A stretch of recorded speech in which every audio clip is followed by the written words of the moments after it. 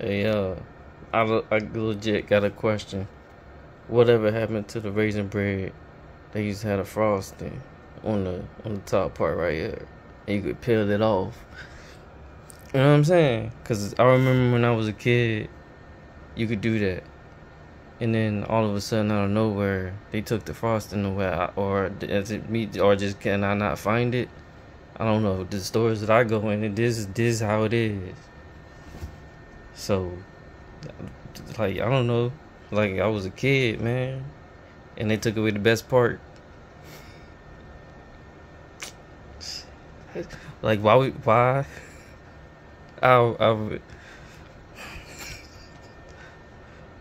I know somebody know what happened. Cause I don't.